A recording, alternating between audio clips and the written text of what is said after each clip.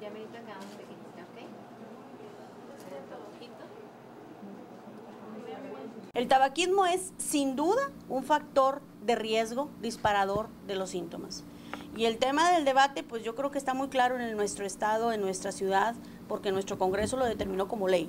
Los otros tipos de acuerdos o acomodos que se tengan que hacer son cosas que tienen que llegarse a ese, a un acomodo, pero es una ley.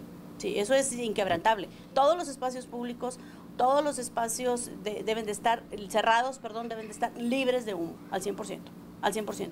No nada más por las enfermedades alérgicas, por muchas otras enfermedades que se ocasionan que tienen que ver justamente con lo que acá estamos diciendo. O sea, se afecta eh, y se invade desde el punto de vista de salud a la persona que está enseguida. Y no nada más es el tabaquismo, ya hablamos también de la desnutrición.